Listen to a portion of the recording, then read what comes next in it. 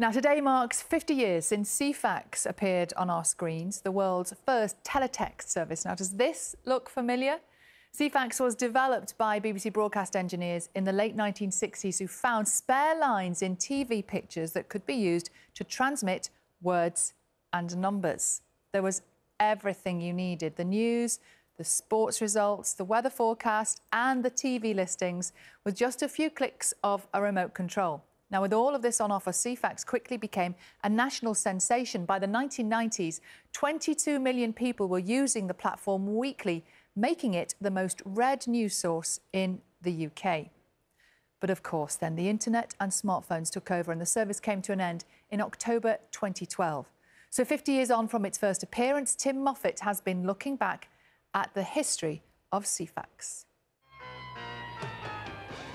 Ceefax, a name manufactured from seeing facts. It was mind blowing. Text on your telly.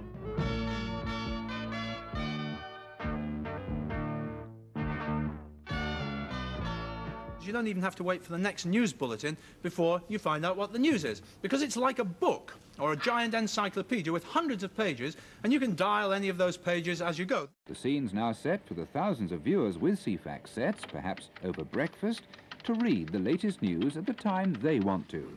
Hey, what's that about South Wales on there? Long before the internet, Ceefax was at the cutting edge of technology. Wait, this will be changing all the time as the financial Uh, as Right. the, the if, index the, is if the index changes, it can be updated more or less instantly. Okay. The Centre for Computing History in Cambridge, where teletext fans and pioneers have been celebrating its anniversary. Cutting the cake, Ian Morton Smith.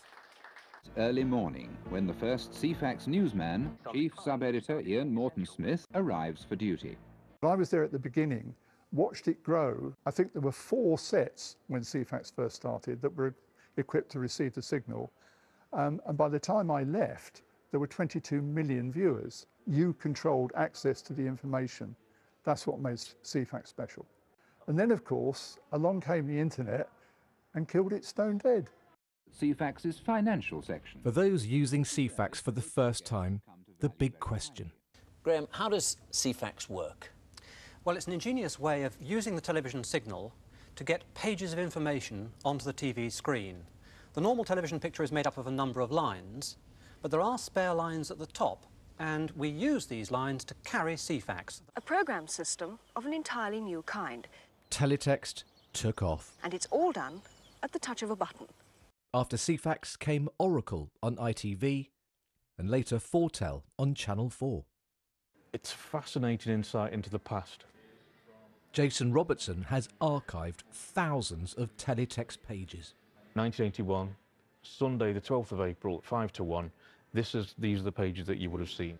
Old television programmes recorded on videotape also contain teletext information from the time. People have been very generous and sent me loads of videotapes. I've got a garage full to go through. They need someone to decode that information. Yeah. And that's where you come in. That's where I come in. Why do this? Why archive all these old pages? I mean, we've got newspaper archives. There's loads, loads of those. Why not a teletext archive as well? Because um, the good thing about teletext, of course, it's, is it's impartial. Newspaper archives can be quite partisan, but Ceefax has to just tell the facts. Heavy set and blocky fonts and vibrant violent hues imparting TV listings the weather, sport and news. The 50th anniversary has inspired this tribute from poet James Domestic.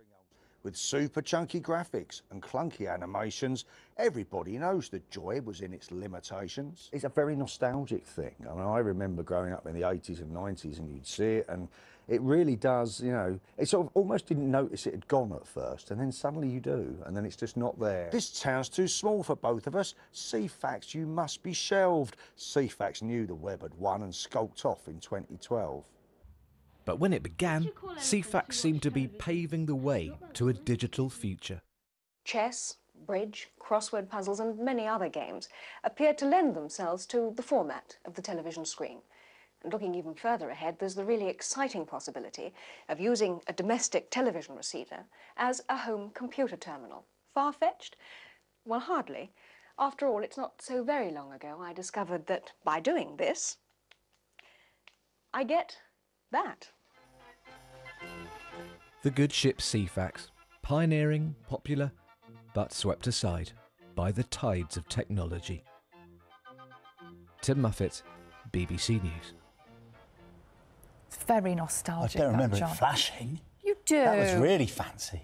Am I right in thinking that at one stage in your career you actually wrote a bit of Ceefax? Yeah, and you had to get exactly the right number of characters to fit across for the headlines, and it was a nightmare trying to choose words or drop letters. bit like a but crossword. strangely satisfying when you got them to work. Yeah. Yes. Your Ceefax memories this morning, we'd love to share them. Get in touch on that newfangled WhatsApp thing that's uh, on your screen now. Very modern. Now let's